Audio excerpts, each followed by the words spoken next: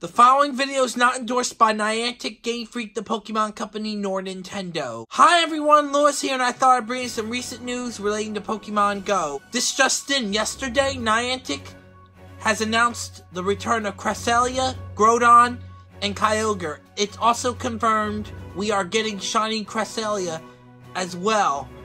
Cresselia will replace Azelf and the other Lake Guardians as the level 5 raid boss on Monday, May 27th to Tuesday, June 18th, which will lead the way for Kyogre to take its place until Thursday, June 27th, and finally, Groudon will replace Kyogre as the level 5 raid boss until July 10th.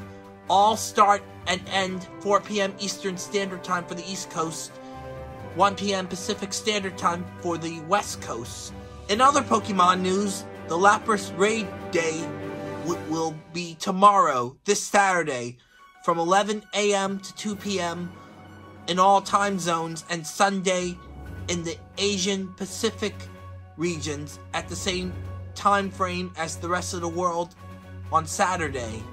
One more thing, episode 34 of my play series is now out. I will post a link to that video in the description below. Episode 35 will close out with Lapras Raid Day, and this weekend be sure to look out for my reviews of Detective Pikachu, both spoiler and spoiler free. If you like this video, please hit the like button.